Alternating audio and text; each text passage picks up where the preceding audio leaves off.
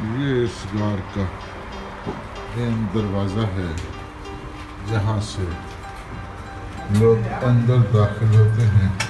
یہ بتائیے کہ یہ جو غار ہے یہ کتنی پرانی ہے؟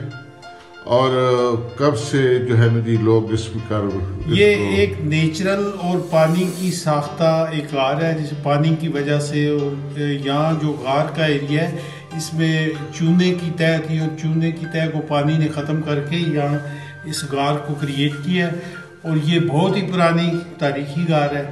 دوسری جنگ عظیم میں بھی یہاں پناہ کی خاطر تین ہزار لوگوں نے یہاں جنگ کی گولہ باری اور جنگ کے نقصانات سے کتنی لمبی ہے یہ؟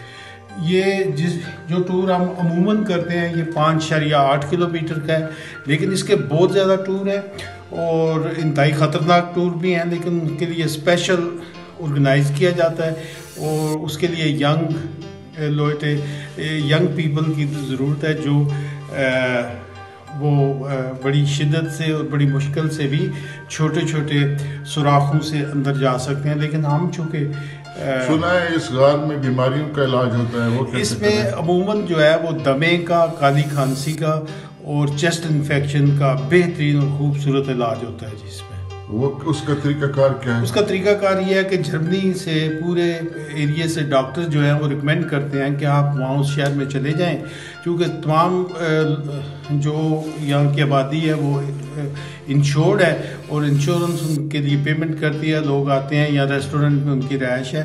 اور دن کو آپ نے جو پیچھے وہ بیڈ نما پلنگ دیکھے ہیں، ان پہ لیٹ کے اپنی بیماریوں کا علاج کرواتے ہیں۔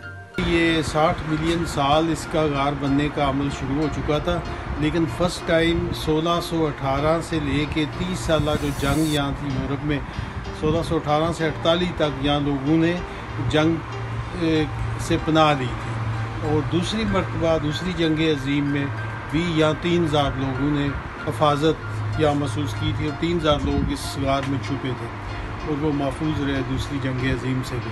لہٰذا یہ اس کی بہت ہی پرانی تاریخ ہے بہت پرانی غار ہے لیکن لوگوں کے استعمال میں سولہ سو اٹھارہ میں پہلی دفعہ یہ غار آئی تھی۔ اس کی جب- سب لمبائی کتنی ہے؟ اس کی لمبائی بیسیکلی جو ٹور آرگنائز کیا جاتا ہے جو عموماً لوگوں کو دکھاتے ہیں جو آسانی سے جایا جا سکتا ہے جہاں وہ تقریباً پانچ شریعہ آٹھ کلو میٹر کا ایریا ہے لیکن اس کی مختلف پیسیج ہیں مختلف اس کے کیو کے حصے ہیں۔ بھول بھلیاں ہیں۔ بھول بھلائیاں ہیں اس میں اکیلا آدمی جا بھی نہیں سکتا اس کے لیے خطرناک بھی ہو سکتا۔ ہے